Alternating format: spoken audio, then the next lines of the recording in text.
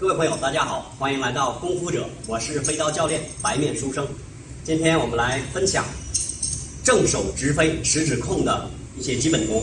首先，不管是飞镖还是飞刀，在投掷飞行的过程当中，最终会因为受到地心引力的影响，最后头朝下往前翻滚，掉到地上。因此，其中有一种方法，就是用食指来控制它旋转的速度，让它能够准确的扎到靶子上。那这个手势怎样做呢？首先，我们要找到右手的劳宫穴，劳宫穴很容易找。我们把四指弯曲，中指正对着的点就是劳宫穴。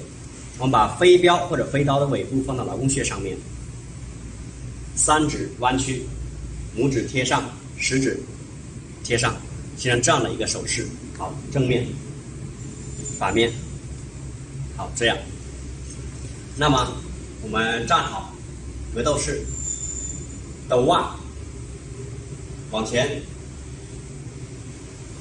当标尖儿跟靶心成一条直线的时候，放手，依靠惯性，让它扎到靶子中心。我们来看一看，做一个示范。